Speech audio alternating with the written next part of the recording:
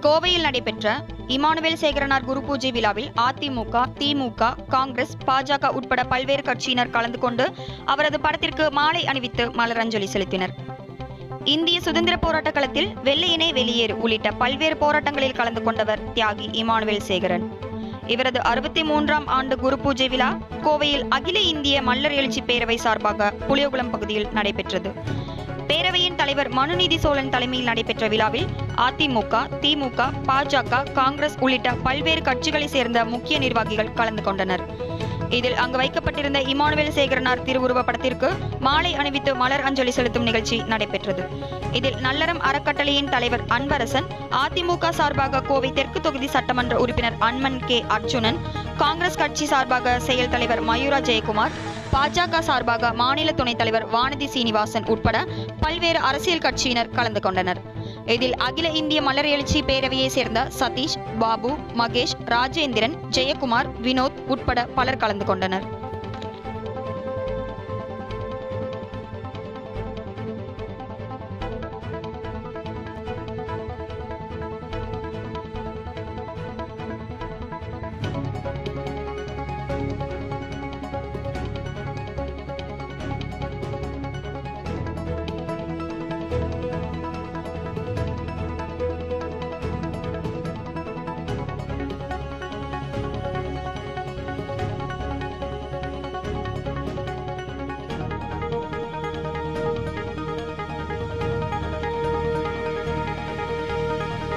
பேசலாங்களா?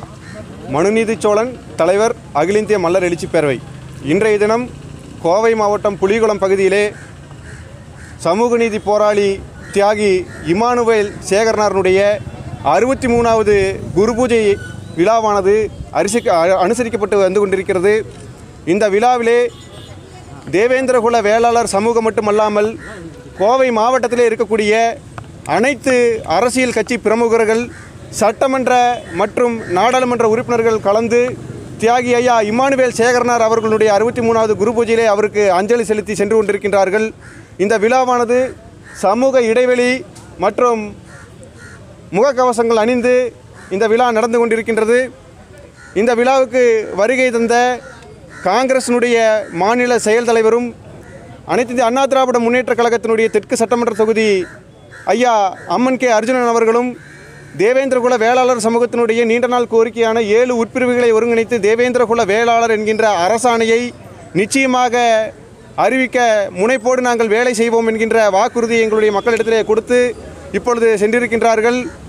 ஐயாவினுடைய குரு பூஜையை முன்னிட்டு நடந்து கொண்டிருக்கக்கூடிய இந்த விழாவினுடைய வீரியத்தை தொடர்ந்து எங்களுடைய கோரிக்கை கூடிய விரைவில் நிறைவேறும் என்கின்ற நம்பிக்கையோடு நாங்கள் இருக்கின்றோம். நன்றி.